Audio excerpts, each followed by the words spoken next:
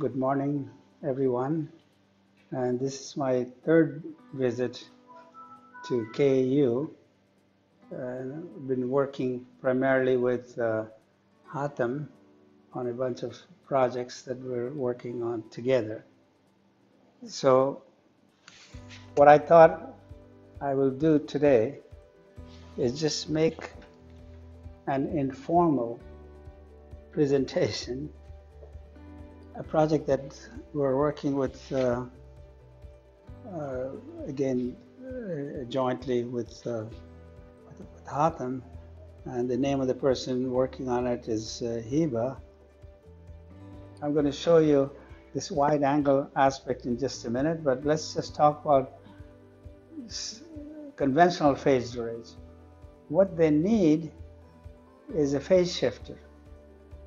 Now, everyone knows the ferrite phase shifters are widely used for this purpose, but we cannot actually use them at these high frequencies. Is something now that complements this phase shift. What does that mean? It means that suppose this is the input port and this is the output port, and we want certain phase shifts.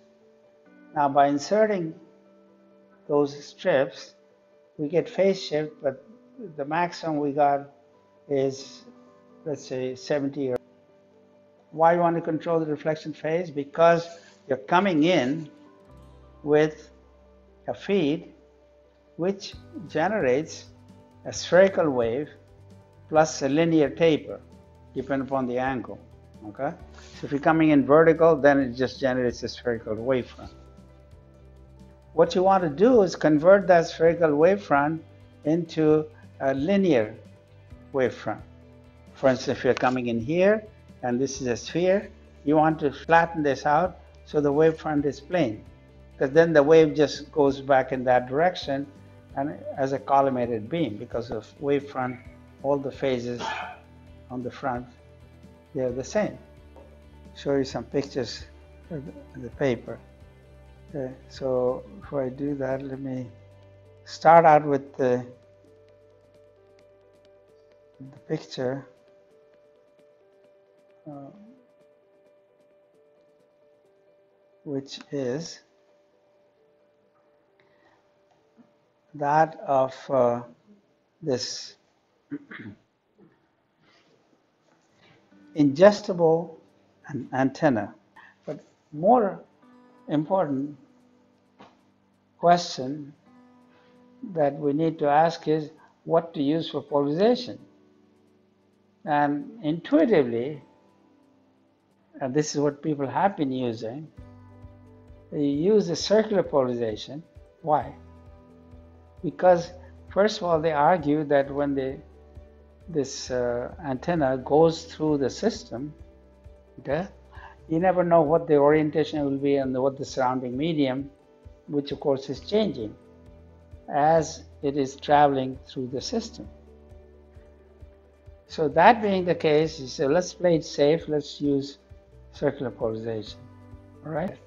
So this is someone who right now is located in the lab in uh, Belgium, one of uh, Hatem's former student, but she got her PhD in Louvain, and she is working on. Uh, I'm not showing you that here. Very interesting problem of recognizing characters such as alphabets.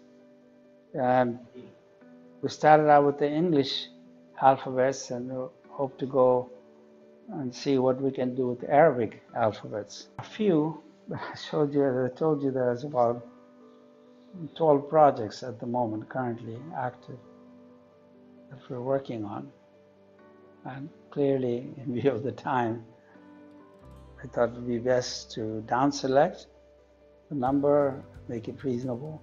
So that's what I had to do. And thanks very much for your attention.